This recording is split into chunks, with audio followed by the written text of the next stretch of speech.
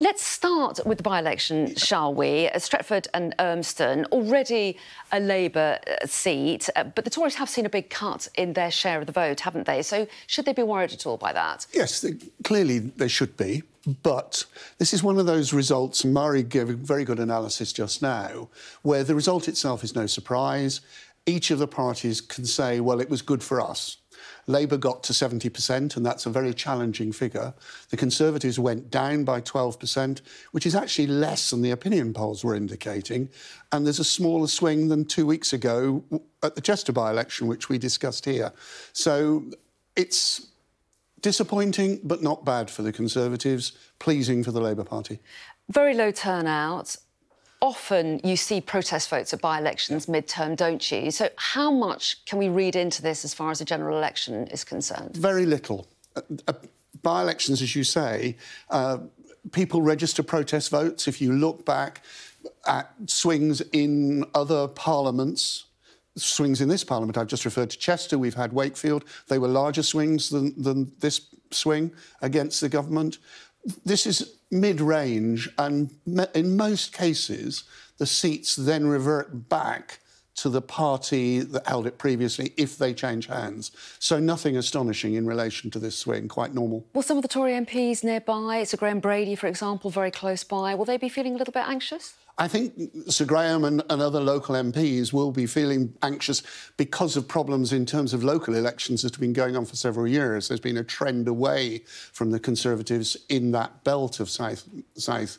and West Manchester. So, yes, they will be concerned, but um, the, as Murray indicated, you've got the local elections next May, and people will be looking has the government solved the industrial relations issues? Is inflation coming down? It started coming down this week.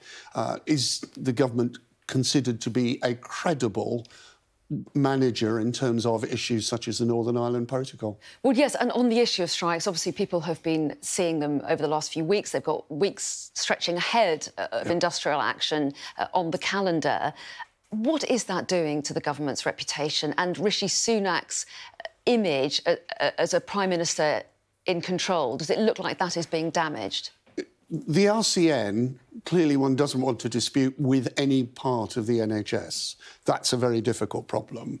Um, in terms of judgments for a general election, we're a year and a half, two years away from a general election. The other issues, like the railways, etc., we're in a very difficult post-COVID set of circumstances. It's difficult to manage because they're coming all at the same time. But the polls are actually showing an erosion of support, still general support for the trade unions, but an erosion of that support uh, as they run on, and particularly the rail unions uh, striking over Christmas and therefore keeping families apart. But what about the health strikes, the, the, the, nurses going out on strike? How difficult is that for Rishi Sunak? And how much has he got the party on board on this? We read in the papers this morning that there are four former ministers who are, are calling for the pay review body, which uh, the government is keen to stress they're following their recommendations. Yes. They're saying that you need to go back to them because that's out of date now. Before I went into the Lords, I used to spend my time negotiating with trade unions on the management side. So I've negotiated with most of the major trade unions uh, over many years. Uh, and people from outside the negotiations pontificating about what should be done always used to irritate me. Um, so I'm not going to start doing it. And I'm talking here about management colleagues who were not involved in the negotiations. Leave it to the negotiators leave it. They have to report to the Prime Minister, to the head of the RCN, and the like. Um, but uh, it can't go on an excessive length of time because that will uh, stretch the credibility of the Prime Minister um, because disputes in the NHS are not what any government wants. Well, yes, and do you think that the government can stick to its current line, or does it, is it going to have to shift its position, do you think? I, I, as I say, having spent many years negotiating, the answer is I don't know. Uh, it's in the position of looking inwards, it's getting the advice from the negotiators, it's getting the advice from the Health Secretary.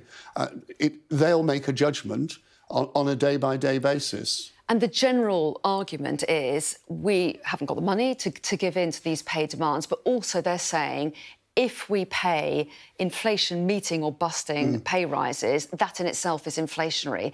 Do you think that message cuts through to the public? I think in part it cuts through, but not. There is a natural sympathy towards the health service unions, which makes it more difficult to negotiate with.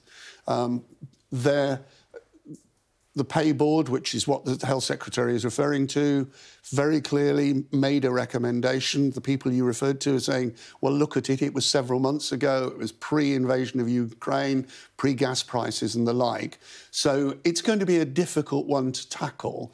The other, other trade disputes, the likes of the railways, for example, and civil service, much more easy to do, deal with even the rail unions working from home is so much easier now that actually the impact is far less than it might have been a few years ago. And what about the impact on Labour uh, of strikes? Uh, Rishi Sunak very keen, whenever he can, yes. to, to, to, to, paint the unions as, as being in the control of union barons. He talks about Labour, uh, them being Labour's pay, unions being Labour's paymasters. Um, I mean, to what extent is that effective, do you think, in trying to shift some of the blame for the strikes off the Tories? Oh, there's no question that it is the natural tactic of the Conservatives, of the government, is to show the Labour Party in the hands of the of the bar- the union barons. Whether that cuts through heavily or not, I'm not sure. But Keir Starmer's walking a fine line because he said Labour MPs, Labour spokesmen, should not be going on the picket lines, and some have done. And whether they're spokesmen or spokeswomen, they, they are facing an issue themselves. It's a fine line for both sides, but it's a bigger problem for the government than it is for the opposition.